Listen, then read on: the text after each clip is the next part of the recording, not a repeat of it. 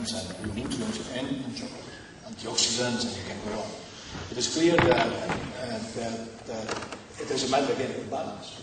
And balance comes with understanding again. And that's why we do in our chocolate dimensions first portionability, so that you don't have the whole tablet in front of you, you can have a small one. We have Kit Kat, four fingers, we have two fingers. So you don't have. So again, it is really educating the. We have ice cream. Yes. No, you can say ice cream. Uh, if you, and I always use the example, if you give an ice cream to a kid on Sunday and you see the sunshine in his eyes, cannot be bad. But then again, a company like ours, we can use our research and development to develop an ice cream that gives you more enjoyment, better taste, pleasure again, yet with, with half the fat and one third less calories. We, we have an ice cream like that, a slow churn ice cream that we have in the United States and in other parts of the world. It's just an example of that. And then talk about portion. Don't make it too big so that it, and, and these are the, I feel that much, much more uh, responsible as a company than saying whatever may have a little bit of a shine of not so nutrition, we get out of it. Uh, people are going to continue eating ice cream. But this company like ours can put in resources to really find out how we can do that with more cookies and less batteries and, and making part that, that part of a, a, healthy diet. That is much more responsible. I do believe that, that the obesity problem, it's a big one, it's a big problem. That, that it, is, it, is a combination of things. It's not just banning food. It is a combination of, of, of, of uh, portionability, responsibility, using technology to reduce uh, calorie uh, content, um, uh, ed- education. All that is going to help to really uh, keep that balance back. All the people who work with Nestle know how important the R&D is for Nestle and how important it is to find the right products and to make sure that uh, it is healthy, etc. I would like to move to marketing. How much do you trust marketing? Oh, you want, uh, you want to know where he is? I, I know the answer, but I, am not sure that all the people in the room that know the answer. We are a marketing company. It's our livelihood. It's our DNA. Ever since, just think about the, the nest. 145 years old. Uh, that was the first expression of marketing in Nestle. Nestle is a name. This comes from Heinrich Nestle. Nestle is German, small nest. He said, well, uh, Nestle, the French-speaking part of, of, Switzerland, hasn't the same meaning of what it had uh, in my home country, but a nest can symbolize that. And, and, and, and he wanted to uh, transmit, his first product was a milk cereal that actually saved the life of a child. Actually saved the nest and a mother feeding.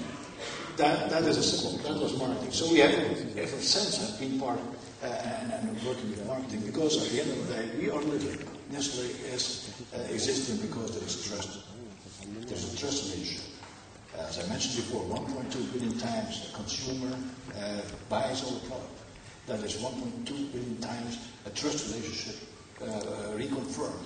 Trust building is linked with connecting. We connect, connect with information, connect with arguments, connect with emotions, and that is what marketing does. Marketing creates uh, that bridge towards the consumer to create that, uh, uh, hopefully, honest relationship that is trust building and that brings them back uh, the dynamics towards your brand. So um, uh, marketing is, uh, is just what we are. So we move now from marketing to advertising, which I think is a natural segue? Uh, and you are in Cannes, and uh, we know that uh, all the creative people on earth would love to, to go very far with Nestle. I'm not speaking only about our creative people, in this group, but uh, all the advertising agencies, because they all believe that we can go much farther. First, what is your own judgment on the kind of advertising that you are and creativity that you are having? And how far, how would you define the limit of creativity for the Nestle product?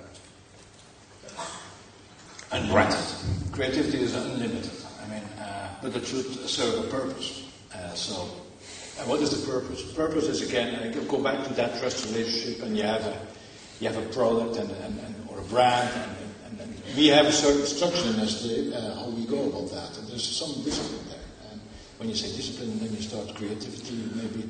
No, no, there is a need for purpose. And the purpose is, uh, first of all, the brand essence. What is the brand or the product standing for? That is the purpose. What is, what is the bridge that we want to make with the consumer? On what basis that relationship should be built? That is, and, and then around this, this, this essence, you build a, a, it has to be a big idea. We call it a big idea, you know that. And, Yes. and the big idea is actually that differentiate. Simple thing. It should be simple. Big ideas are always very simple, but they're well thought through and, and they should serve that purpose. And then the creativity is then how we translate it into, into language, visual or uh, audio, towards the consumer in a broader context of, of, uh, global communication. But, but that, that's the dimension of what creativity should do. So the only limitation of creativity in my eyes is should serve the purpose translated into a big idea of the essence of a brand. And, and, and that's it. So uh, I, I don't see, uh, if I would say no, creativity is limited to, uh, that doesn't make sense because it is the creativity that brings that spark, that differentiation, that cutting through the clutter, as I say. And there's a lot of clutter now, uh, more than in the past and every year more. So you better have, first of all, a good definition of your essence, a good, uh, good finding of the big idea, and then a very creative uh, way of going about that. When you look at the, I don't know how many hundred campaigns that you have every year, uh, what are the two or three that come to your mind and say, that's it? Well, we have quite That not necessarily from publicity, we can accept that it can come from. But I like the Deutsche Ah, good, thank you. and it is working well. Uh, Which, by the way, is uh, useful. But it was a good one. Uh, the music, everything. It was, uh, it was again uh, serving the purpose. It was, it was something new, younger, and there you go. Uh, I like uh, pr- pre- uh, very much the the, the Perrier one. Uh, this, this, this ultimate refreshment when, uh, when things turn hot. But it is just good. People retain it, but it is sending a message. It's part of. The, it is a good execution behind the big idea. So again, it plays well with these uh, th- these, these dynamics. Uh, uh, talking about um, products also. The whole campaign, but that's uh, uh, an overused one, is Nespresso, which is a nice one. Uh, uh, that it has brought us uh, quite a lot. So, but then you go to smaller, less visible ones, but uh, the juicy chicken, you know, the, Yeah. small campaign, you like that one too. It, it- it's, it's very good. The product is good. So there's a good, I would say, uh, working together, communication with the product, the promise, and so on. So uh, quite a few. And if you go beyond the world of Nestle, what are the kind of uh, campaign advertisement that you really like or admire? Say, this is the kind of thing I like would like. one too, but L'Oreal is one. Yeah. so many years uh, consistently messaging and all, yet always renewed and refreshed. That's what I like about campaigns too, that they really stand the, the, the, the time. Uh, that, that, that is something that I, uh, we are long-term thinking company, so we like uh, campaigns that are refreshed, yet at the same time they, they handle the same nail. As we are on the campaign, uh, in your long tenure at Nestle, is there any campaign that you have refused uh, because uh, of any kind of reason, and then you say, ah, I should have accepted it? No. No. No regret. I can't. No, no regret because I didn't know if it would have been successful. So, no. Yeah. I must say, if I would say yes, this one and this one, I, I, I wouldn't, would not be fair. I didn't give it a chance at the time, so I uh, turned the page. It's over. Let's go forward. That's pretentious, but that's that's the it. Okay, as uh, we are turning the page, maybe we will uh, turn to the audience and give a chance to a few questions. Uh, so if you can have uh, the, the light uh, in the room and uh, uh, people would like to, to put a question. Si on peut avoir de la lumière dans la, dans la salle et on va poser des, demander à l'audience de poser des questions. Vous entendez derrière, là, les techniques? Merci. Oui, la technique suit, voilà. Merci. Uh, so, we turn to you if uh, anyone in the room has a question, otherwise we will continue. So please, you, the one who would like to put any question, it's open. Yes. Sorry, microphone, please. You will have a micro.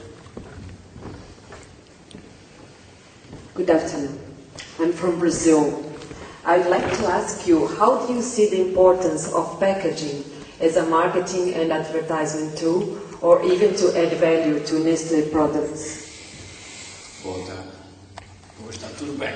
Tudo bem. Tudo bem. Tudo bem. Now, uh, uh, packaging is the first is the, is the first communication tool that you have. It's actually the first expression of the personality of a product too. The first contact that you have. So, in my eyes, it's very very important. And and, and, and yet sometimes you, you you're totally right. We don't use it as it could be used. It is not only protection, but we have we have uh, uh, for so many years. Uh, I think uh, really put some quite a lot of focus on, on packaging, not only the appeal but also the communication tool. And uh, you'll see the branding, how we use branding on the, the packaging, appetite appeal to some extent, but also the information again, connecting in a more meaningful way. At the end of the day, food is serious. And, and, and, we spoke about education, we spoke about transparency. Well, the packaging is the best way to really connect on a rational base also with the consumer. And, uh, so for us, it's extremely important. Okay. Next.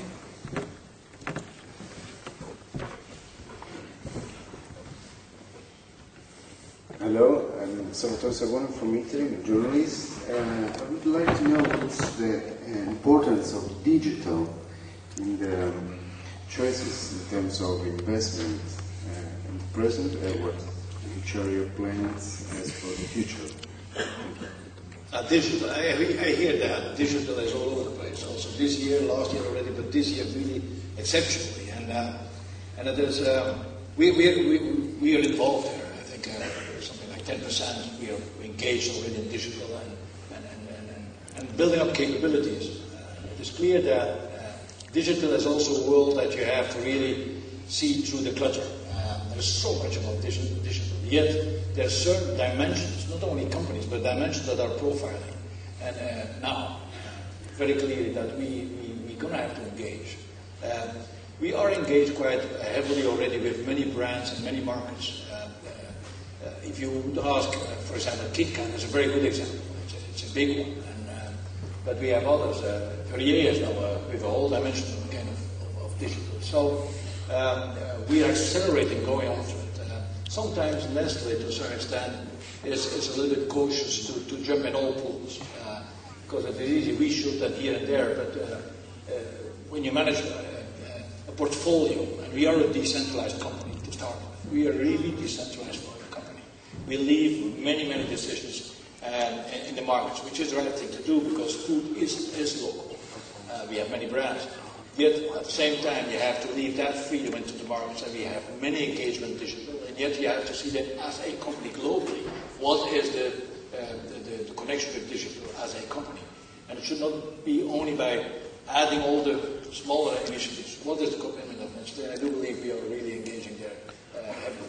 Think just about, again, food. Food is not only emotional, there's linking up with uh, recipes, there's linking up with uh, consultants, uh, some people can ask questions, how do I do this and that? And actually we have already uh, things like uh, uh, Koch Studio in Germany that is driven quite importantly, more importantly with uh, more and more digital, because it allows you to really uh, connect a permanent dialogue in a much easier way than before. Before it was a phone call, second phone call, now you can be permanently into the rooms of, of, of consumers. I mentioned uh, Koch Studio, which is the Maggi brand culinary, where we actually can, um, we have uh, kitchens and we cook with products and, and, and we webcast them permanently in, online and in, in, in vivo. So these are all the things that, uh, that, that we can use and we can connect also the, the kitchen of the people now uh, with, with, with the webcams you have. So that starts to be something that is really, uh, I would say, instrumental to us for the future. Next one. Yes. Uh, Yes? We have some. Somebody else? Hi. We have the micro- microphone? Here. Where are you? Here. Okay. Hi, I'm from. Okay, I see you. I see you. We're in the dark. Okay, I see you. I like Nestle. A global big brand has their own global strategy, but every country has a different situation. So I want to ask how you can make the balance between a global brand strategy and a local brand strategy. Okay. One little phrase can answer that, I explain it later. It is uh, global inspiration, local execution.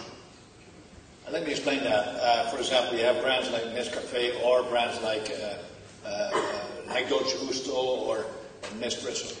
But what you have is, is, is a global, again, I go back to this global brand essence what the brand stands for. Um, that is a global dimension that we have. Yet at the same time, we are very decentralized. The execution of that essence and how we link up and how it is done is done very local. And that's why we have a structure where we have people uh, that are on level to take these decisions. Let me give, I said that food is local. Uh, Nescafe is a global brand. You know how many blends we have. Blends is different profiles of flavor. Of Nescafe is 180. That's a lot uh, of differentiation, yet it is the same uh, experience of, of, of uh, relaxing moment with, uh, with uh, an invigorating moment of uh, uh, with Nescafe. So it's glo- global inspiration, yet local execution. And what you have to have then is this discipline of, of aligning local actions in, in, in that global strategy. That's how it works. And, and I must say that is a strength. Um, the, the world is global, yes, but the consumer, and especially the food consumer, is a very local relationship. And, and, and that's also, we have global brands, yet we have also local brands. And then these brands are owned, um, actually, brands are owned by the consumer. So, but we have 6,000 brands worldwide. You say, Jesus, that's a lot. But we have close to 30 brands that are doing together. Only 30 brands are doing two, three quarters of our, of our sales. Uh, so we do have big brands focused and global inspiration. Yet we, on top of that, we have many, many regional and local brands. And then it's people locally caring about these brands because they're owned by the local people. And, and that's how we work. Uh, so again, we are an and company. Uh, it is global brands, yet local brands. Before I give you the microphone, I would like to pick on what you have said because I think it's something which is uh, extremely important, particularly in the world of digital. Uh, we have seen some reaction of uh, consumers regarding the brands or how they have, for example, reacted to the change of logo of Gap, where they stopped the change because they were considering that uh, no, no, the company should not do that. They didn't like it, and they said, no, you should not do it. Mm, I I believe very strongly that uh, the brand is no longer owned uh, Nestle, P&G, etc. At the best, it is co-owned between uh, the corporation and the consumer, but uh, the vast majority of ownership goes to the consumer. And this is what you mentioned. Can you elaborate a little bit on this? Because uh, uh, I, I have sometimes heard some uh, advertisers, uh, advertising people saying this, but very few advertisers recognizing that the brand is co-owned. And you are the very first that I'm hearing publicly to say it's owned by the consumer. Well, if I would have, if all I'm not speaking about bookkeeping. No, no, I understand, I understand, but if we would have, if we could get to a point that the consumer owns, really feels he owns the brand, that would be really super. Because whatever, then somebody attacks the brand, would, they will defend the brand actually more than we should or we do as a company. Uh, the- the- I spoke about trust. Uh, you trust always more what you own, what you feel is mine. Uh, and that's why then sometimes either uh, very close to that brand, that's really an extreme.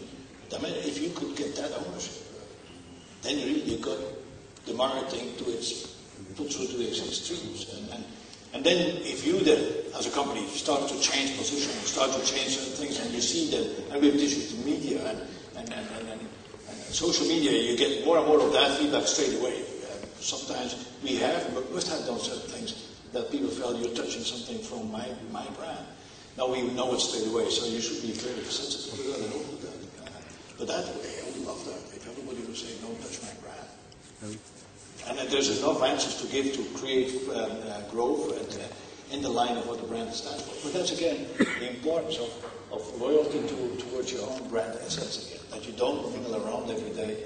Um, because at the end of the day, brands are certain dimensions in people's life to make choices easier. Somebody said that once. It is true. And if you start mingling around, you start to confuse them, and the world is already confusing them. So we shouldn't bad that. We move to first row. I want to go back to the place where you said that uh, food should, uh, you had uh, three points, uh, pleasure, knowledge, and balance. And uh, I think that's an issue for the whole industry nowadays because you have a part of the world that needs nutrition and the other part that needs less nutrition. And I'm also from Brazil, and uh, in Brazil, authorities now uh, tend to point a finger into the food industry, saying that uh, you play a, a, major role in the health problems and so on and so on. Uh, I'd like to know how you see it. Well, first of all, I don't believe you can just point your finger to one thing. Uh, yeah, no, not, not, not necessarily, but no, no, no, the whole food industry, sure. But I'm answering as an industry, saying that uh, the industry is as I said, there's no unhealthy products per se. There's unhealthy diets. And, and I don't believe that it helps us forward to, to point one dimension, the industry, to it. Um, there should be responsibility. That's why we define also nutritional fundamentals with these three uh, things. And then uh, we should go and organize ourselves around that and, and, do that as a company, do that as a part of an industry. And then it is linked with education. And their government should play too. And, and it is linked with, with um, uh, uh, balance. Just like with using R&D and science and understanding into your own products and, and, and give offerings that, that allow the choice, small formats and, and so on. Uh, so it is again a holistic uh, dimension, and in many areas in Brazil we're working very heavily with the government. We have the Healthy Kids program uh, uh in, in, Brazil that, that, that, uh, that is just doing that together with governments, uh, working educating children and kids to go about their own diets and, and healthy diets. It is clear that, that uh, we have a double burden at school. It's not only that some have too many calories, others don't. You see the obesity going up dramatically in the developing markets. Why? Uh, because people start to have more caloric uh, uh diets. Uh, because they have more, or they go to certain dimensions of their diet that are more caloric uh, dense. So there again, there's a more holistic going about. And as an industry, we can and we should be part of it. That's why we have our, our also advertising committed our, ourselves as an industry to go um, honestly about it. But I do feel it is a little bit too easy for governments also, the policymakers, to say, well, we have a problem at hand here, let's, let's just say, and we're going to tax every calorie of that. Uh, that, in my eyes, is not honest, it's not fair. Uh, towards, not fair towards industry is one thing, it's not fair towards the public and the broader dimension of the population. And that's where we are engaged with, and more and more so. So you have some uh, finger uh, pointing, but in general, there's awareness of we have to go holistically about that. And, and, and, and that's what we try to do.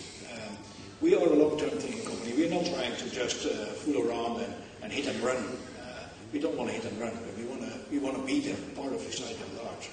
And Actually, that is how we think of society. And in our area, it is R&D, understanding more, seeing solutions for it. It is uh, educating and transparent information. Is portionability. It is all these dimensions together. It is also, if we have chocolate, stay in chocolate, but do it meaningfully and responsibly. And not just getting rid of it and leaving it to others to do whatever they want to do. Uh, it is much more difficult to be responsible having a portfolio like we have and going it in that way, living with society at large and more. Thank you. Next, is there any other? Yes.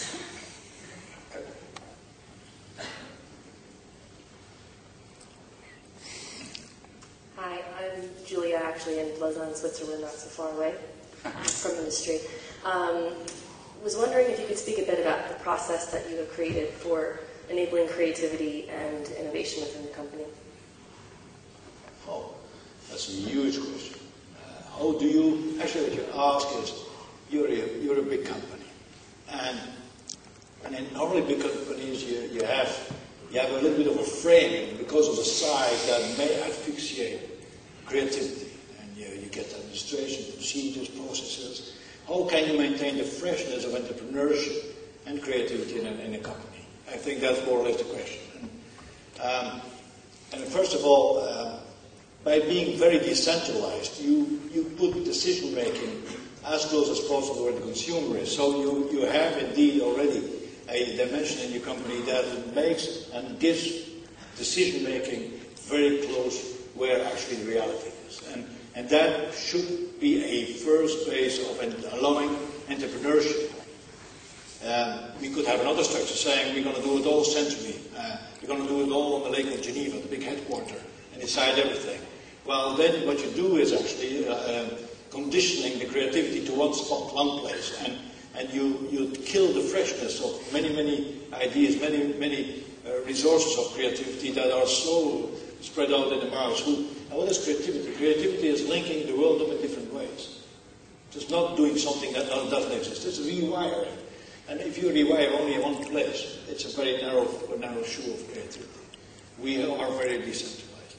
Secondly, there's also, yes, indeed, uh, inducing more than entrepreneurship outward looking, not inward looking. Um, and that is what we're trying to do also is, is frontline. Uh, really having uh, all this linked with consumers, with the market, etc., should be outward looking. Should have the nervousness and alertness of what competition does, what, what, uh, what the other guy is doing, what the consumer wants to do. Uh, sometimes if you don't have a good split in a company of, of what I call the, the supportive, efficient backline, and, and, and, and the front line that should be marketing driven, uh, inspiring, uh, creative, uh, uh, fast moving, alert. Um, if you don't have good that split, then you start to have a inward looking company. And, and, and, it's very dangerous. I must say also, uh, we, we, try to challenge ourselves permanently. So we are really uh, looking and matching and comparing. We, call it, we don't call it benchmarking because benchmarking actually what it does is you, you neutralize uh, your company to the average because you benchmark and you want to go to the bench. And at the end of the day, uh, you, neutralize everything, the lowest common denominator. What we try to do is actually gap creating. Always uh, uh, creating small gaps everywhere, in every part of the value chain. And everybody is responsible in his own area to create these gaps, little gaps. Uh, but by adding them up, uh, you really have a very, really competitive advantage. So, uh, and when you're successful, another part of what you have to watch out when you're successful. Success is the worst there is because you don't learn from. It, it, it makes you asleep. So the, the, the, the, complacency is a dangerous thing. And again, challenge that permanently and give the ownership of success not only to a few people in the company, give the ownership of success to the 280,000 people that we are. That, that, that sparks into entrepreneurship and creativity. As we are coming to an end, I would like uh, to say uh, two things. I don't want to make you blushing, uh, Paul, but uh, uh, we know each other since uh, now quite a few years. it is just incredible to see how you have been able to move this company so fast as a new CEO and to continue to grow it and to keep very lively the passion. And if there is something that uh, I very much like uh, working uh, uh, for Nestle and with the Nestle people everywhere, is this lively passion for what you do. And it, we find this in every single country with all the teams everywhere. There is a passion which is really uh, uh, motivating for all our creative people. Tomorrow, Tomorrow you are still here. Are you going to see the, uh, the shortlist? Are you going to see... Uh, so tell us. I'm going. I'm. You know that I'm here after so many years not coming. okay, so we, we know that will